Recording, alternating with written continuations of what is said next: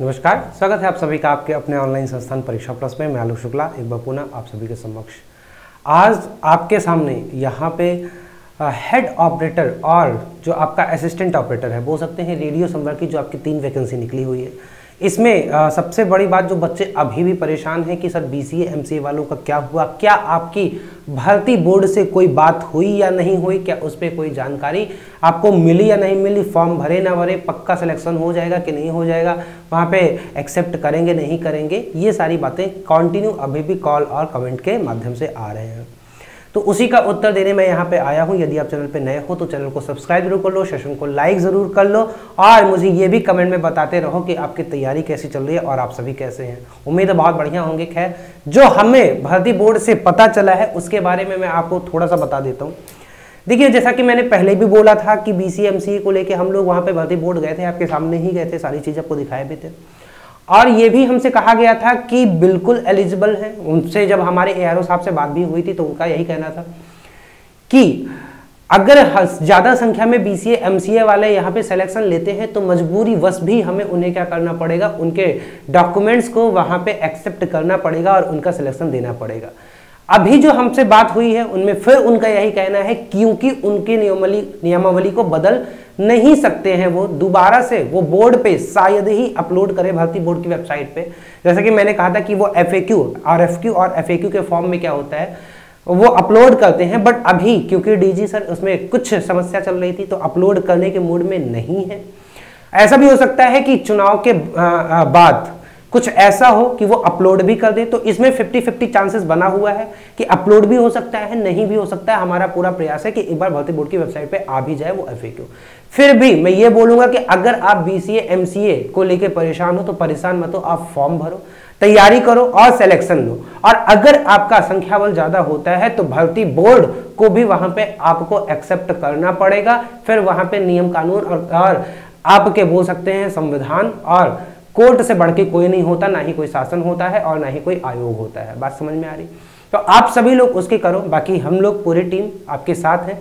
किसी भी मोड़ पे कैसे भी कुछ भी होगा, चाहे उसके लिए हमें कोर्ट ही जाना पड़े और बी एस सी वालों को एलिजिबल कराना पड़े तो हम करा के रहेंगे, क्योंकि आपकी इसमें कोई गलती नहीं है।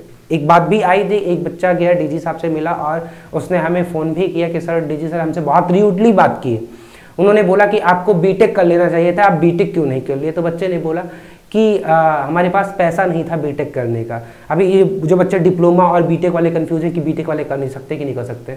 बीटेक वाले बिल्कुल कर सकते हैं मिनिमम होता है मैक्सिमम अगर आप उससे ज़्यादा हो तो बिल्कुल कर सकते हो। और ये बात हमें डायरेक्टली भी बोली गई है कि बीटेक वालों को एलिजिबल कर दिया गया है। लेकिन नियमावली में क्योंकि उसमें केवल डिप्लोमा मांगा है तो उसका भी कुछ भर्ती बोर्ड की वेबसाइट पर अलग से नहीं आएगा उसका इंतज़ार मत करिएगा। अगर आप बीटेक वाले हो तो भी आप फॉर्म भरो। तो कई बार उनके ऑफिसर्स का मूड अच्छा होता है, कई बार खराब होता है, वो डजेंट मेक एनी डिफरेंस जो जिनविन है, वो जिनविन बातें रहेंगी और आप हमेशा एलिजिबल रहोगे बीटेक वाले भी और बी सी वाले भी। ठीक है तो आप फॉर्म भरो और मन से तैयारी करो और सिलेक्शन लो। आपका जो नियुक्ति है, वो हम करा के देंगे। ये कंफर्म है। दूसरी बात ये है कि अभी जो रेडियो ऑपरेटर की बैच चल रहा है, क्योंकि कंबाइन बैच चल रहा है तो बहुत सारे बच्चे ये पूछ रहे हैं लगातार कि, सर इसमें जो तैयारी कराई जाएगी, वो प्रधान परिचालक वाली कराई जाएगी कि सहायक परिचालक वाली कराई जाएगी? तो उसके लिए मैं आपको बता दूँ कि जो आपका बैच है, वो प्रधान परिचालक के समकक्ष कराया जा रहा है। कारण यह है कि तीन सेक्शन मैथ्स हो गया रीजनिंग हो गया, हिंदी हो गया हु सेम है और ऐसा भी हो सकता है लेवल भी लगभग बराबर बराबर है। कुछ क्वेश्चन में आपको 19-20 का अंतर दिखेगा, बाकी नहीं दिखेगा। अंतर केवल फिजिक्स साइंस वाले पोर्शन में हेड ऑपरेटर में कुछ केमिस्ट्री के भी पोर्शन है, लगभग लगभग एक किताब ही है, अगर देखा जाए ट्वेल्थ की। और सहायक वाले में केवल और केवल फिजिक्स है। तो साइंस वाले पोर्शन में लेवल वो अच्छा करेंगे क्वेश्चन का लेवल अच्छा होगा। कुछ बच्चे ये भी कंफ्यूज है कि पेपर एक ही होगा तो पेपर एक नहीं होगा। पेपर अलग अलग होगा, लेकिन बैच दोनों के एक ही चल रहे हैं। 1200 का बैच अभी 50 परसेंट ऑफ़ में आपको 599 में मिल रहा है। तो अगर आप अभी भी परचेज नहीं किया तो बैच से जुड़ सकते हो। तीसरी एक बहुत ज़रूरी बात आपको मैं ये बताना चाहूँगा कि अभी उत्तर प्रदेश पुलिस भर्ती बोर्ड द्वारा जो यूपी कांस्टेबल की भर्ती का वो चल रहा है, वो अभी 18 तारीख को उनको सारी निविदाएँ देनी थी। एजेंसियों को। लेकिन उनका कहना है कि एजेंसियाँ क्या बोल रही हैं कि हमें थोड़ा सा टाइम और दे दिया जाए बिडिंग के लिए। तो 18 से वो टाइम चल के 22 पे कर दिए। हालाँकि ये अपना ही गेम खेल रहे हैं, लेकिन भर्ती वो होगी छब्बीस हज़ार पद। और इनका पूरा चांस है कि खिसका खिसका कि जैसे ही एक बार इलेक्शन के रिज़ल्ट आते हैं है ना? क्योंकि इलेक्शन जब तक ये लगा रहेगा, तब तक वो नई भर्ती का वो नहीं दे सकते हैं नोटिफिकेशन नहीं दे सकते हैं। तुरंत ही उसके अंदर ही सारा काम हो जाना है और नोटिफिकेशन आपका जस्ट पंद्रह पंद्रह मार्च तक आ जाएगा, ये बात भी उतनी ही कन्फर्म है।